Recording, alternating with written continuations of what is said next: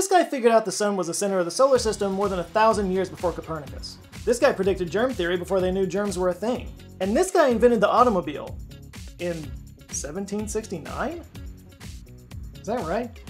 Science is a slow and methodical process, but throughout history there have been visionaries that were too far ahead of their time. So far ahead that nobody took them seriously. It's like they're real life time travelers or something. Like, imagine what the world would be like if we had actually, you know, listened to these people. Well, they may have been ignored in their own day, but today they're going to get their due because we're going to talk about 10 scientists who were too far ahead of their time. Last year, the Nobel Prize in Physics went to three different physicists for their work on the Bell inequality theorem. Uh, I made a whole video about it. You can go check it out. But that Nobel Prize was a long time coming. The experiment that John Clauser won the prize for was first conducted in 1972. It took exactly 50 years for that work to be recognized. By the Nobel Prize Committee, anyway. And actually, that's not unusual. There's actually a name for it. It's called the Nobel Prize lag. Basically, it's where scientists win the prize years and sometimes decades after their discoveries. One study found that the average time between publishing work and receiving a Nobel Prize for it has almost doubled over the last 60 years. Chemistry has the longest lag at an average of 30 years over the past decade. Physiology or medicine has the shortest lag at 26 years. And it's getting longer, um, for the science prizes anyway. For example, after 1985, 15% of physics prizes were awarded within 10 years of the discoveries. Before 1940, the rate was 61%. Now, there are several possible reasons for this. One of them is just that the sheer number of breakthroughs is increasing every year. Like, our awards literally can't keep pace with all the people who deserve the recognition. Sounds like a good problem to have. But then there's the notion that, you know, some discoveries, some works just aren't appreciated during their time, that it takes another discovery or a mindset change for them to come into their own. And that, for the most part anyway, is the case with the scientists that we're looking at in this episode. But one quick thing before I get into the rest of this video, one quick uh, caveat is that there's a potential interpretation that people could come away with this video having, and that's that maybe the point of the video is hey, look at all the times science got it wrong.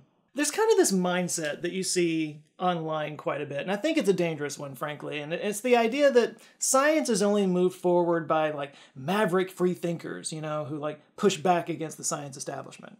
Ergo, if 99 scientists say that one thing is true and one scientist says that something else is true, then, you know, that's the guy you want to listen to. And yeah, no, no, that's that's not how this works. That's not how any of this works. Look, scientists are human. Humans have blind spots and incentives, and yeah, some are just bad scientists. And yeah, in some of the cases in this video, they just kind of accidentally stumbled on the right answer. Um, like there might have been hundreds of people working on this problem at the time, coming up with hundreds of different answers, and this one just happened to be right. And look, I get why the whole, you know, lone genius story is compelling. I used to be really into that. I used to think this way quite a bit more than I do now. You know, it's got a lot of like John Wayne swagger to it. You know, the the genius with a world changing idea being suppressed by the establishment, man. But the flip side of that is that, you know, convincing people that you're a genius with a world changing idea being suppressed by the establishment is a, uh, it's a lucrative grift. Look, science is a slow, methodical march of experimenting, publishing, peer review, acceptance, and then expanding on that idea and starting the process all over again.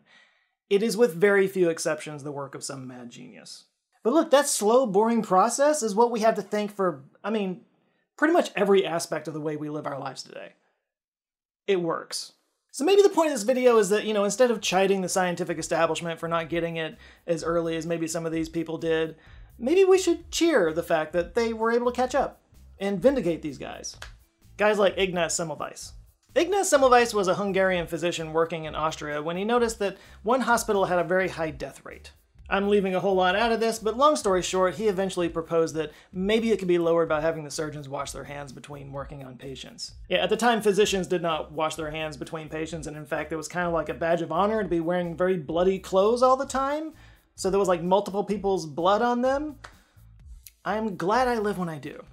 But Ignaz uh, kind of stumbled on this idea that maybe you should be, you know, clean when you're, you know, tending to patients, but the other physicians disregarded his findings. They felt like they were insulted that he was calling them dirty. And he kept trying for years to convince doctors to clean themselves between patients, but yeah, he didn't he didn't get anywhere mainly because he actually couldn't prove why clean hands reduced death rates in hospitals. He just kind of like saw the numbers, but he couldn't figure out why it was happening. And he ended up dying in an insane asylum. It would take years after that for his theory to finally be accepted after Louis Pasteur, you know, confirmed the germ theory of disease. Now, obviously, there's a lot more to this story, um, and I could end it right there. But there are also some other things that add some nuance to the story, like the fact that apparently he was uh, kind of an asshole. Yeah, evidently one of the reasons why his ideas didn't make greater headway amongst other physicians and whatnot was because he kind of refused to perform experiments to prove his ideas. He was so convinced he was right that he kind of took issue with people asking him to prove it. And in lieu of that, he kind of just threw a bunch of ideas at the wall, like spaghetti, you know, and uh, he came up with all kinds of different explanations for it. One of them was ichorous exhalations. W- whatever that is.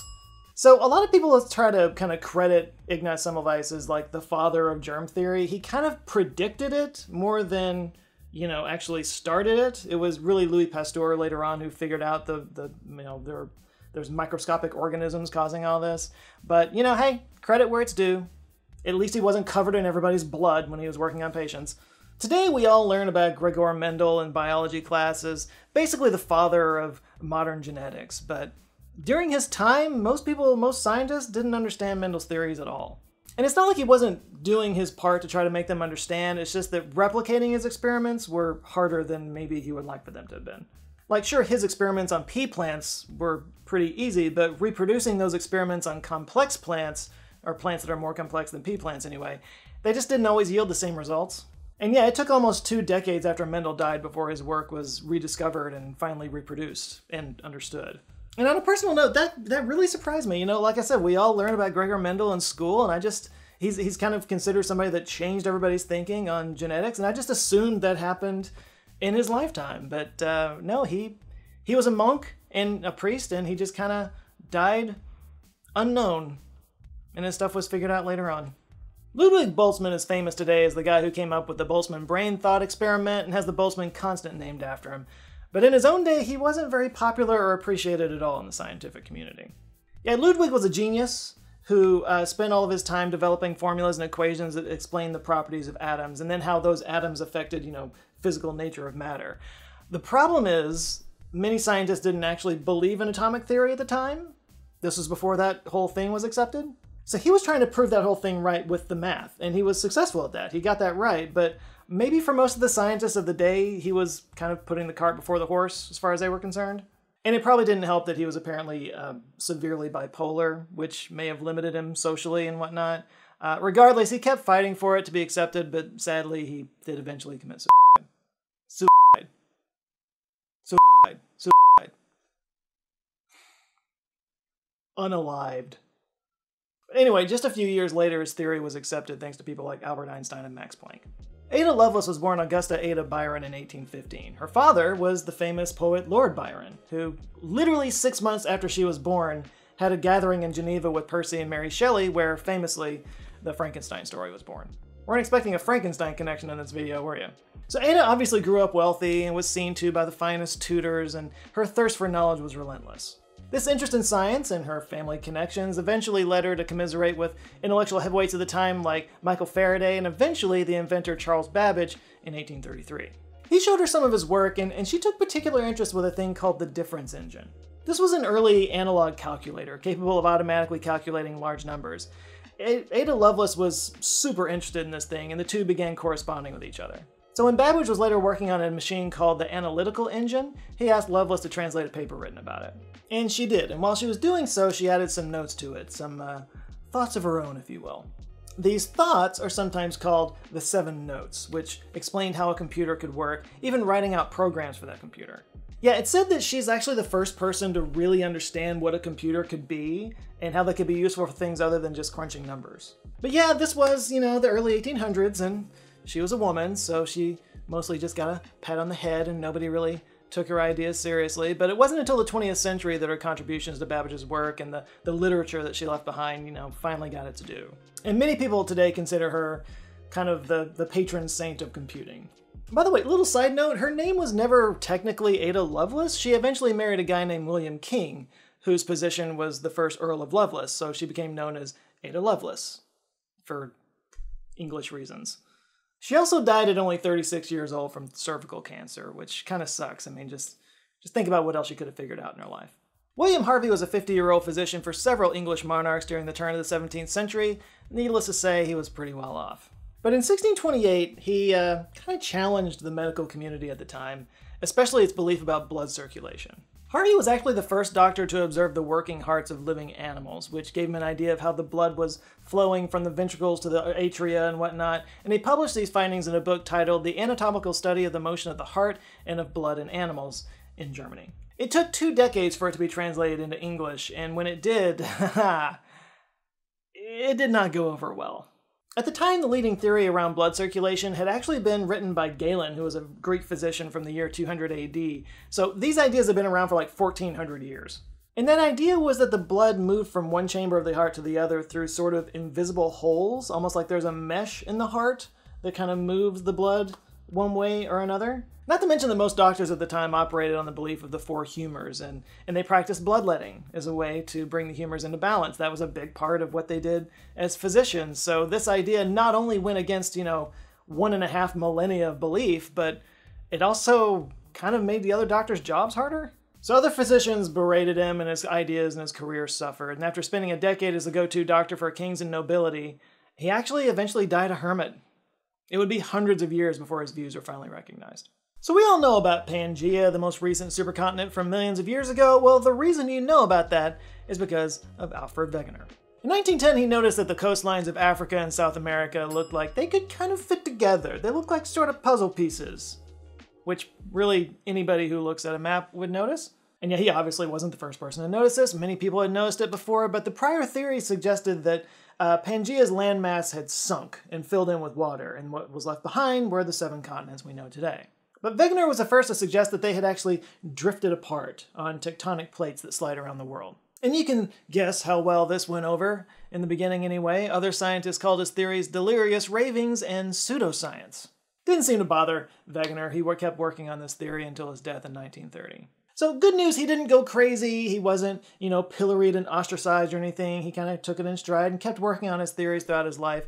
But still, it took several decades before the scientific community accepted plate tectonics. Aristarchus of Samos lived in Greece in the 4th century BCE. During this time, people believed that the Earth was the center of the universe. They did not think it was flat, just that everything circled around us. But Aristarchus pushed back against this idea. He believed that the Earth went around the sun. And he also thought that the stars that we could see at night were from very, very far away. Uh, Homeboy got it right, way early on. Now, unlike some of the other scientists on the list, he wasn't harassed by his peers or put in jail or anything like that, uh, but you could argue that what happened was much worse. He was ignored. You know, people at the time, they just they just wanted to believe the Earth-centered theory because it just it just aligned with their observations of the world. People did eventually come around to his theories, though, good, you know, 1400 or so years later when Copernicus was able to put math behind the whole thing, and it became an accepted theory. William B. Coley was a 29 year old doctor working at New York Memorial Hospital in 1891 when he noticed something unusual. He noticed that some of the cancer patients' disease would vanish after they contracted a specific and deadly streptococcus bacterial infection. So Coley did some research and he found out that 47 recorded cases of this had happened. He decided to conduct some human experiments around this. He found someone who had a terminal inoperable tumor and injected him with this bacteria. The patient, of course, got very ill after about five treatments or so, but his tumor did start to shrink. The tumor was gone two weeks later, and the patient lived eight more years cancer free. William Coley basically discovered immunotherapy, which the medical community mostly dismissed during his life. But today, immunotherapy is a huge part of cancer treatment, and uh, this has kind of restored his reputation. It took almost 200 years, but here we are. Long before Carl Benz built the first true modern automobile in 1886, there was Nicolas Joseph Cugnot. He was a French army officer and engineer, and he was tasked with building a steam-powered vehicle that could haul a cannon. So he worked on this and he got a working model completed in 1769. And the next year he unveiled a full-size version of the vehicle, calling it the Fardier de Vapeur. Sure, I nailed that. Cugnot modeled his vehicle on an army horse cart, uh, but there was a third wheel instead of a horse at the front. And this third wheel supported a, a giant copper boiler and a link to drive the wheel. So it was a wood fuel steam powered car in 1796.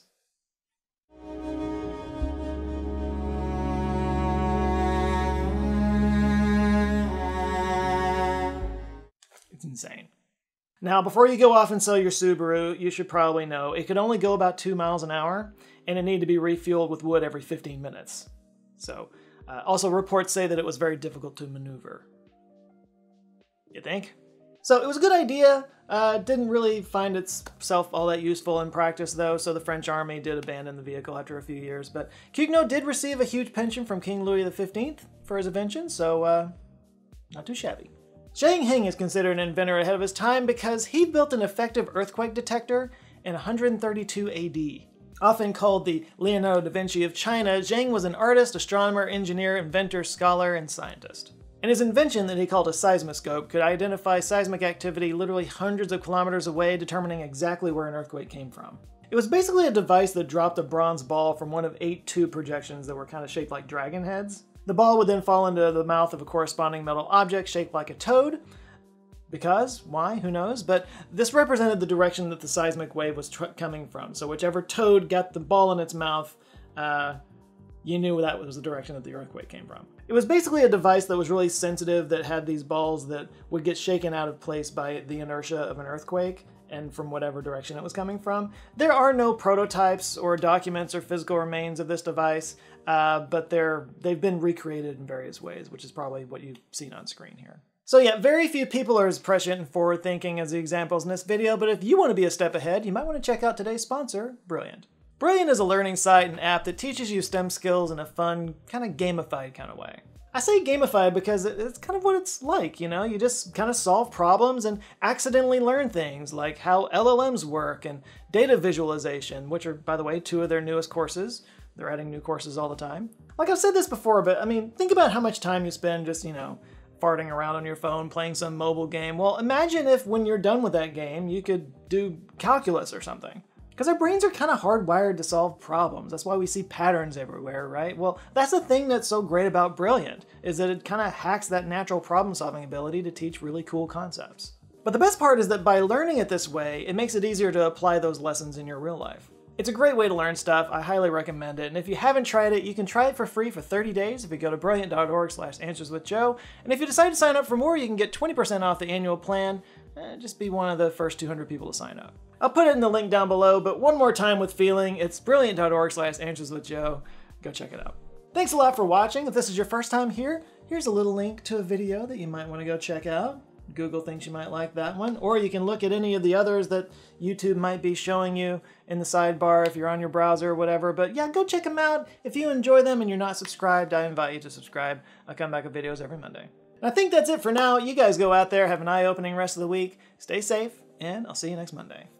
Love you guys. Take care.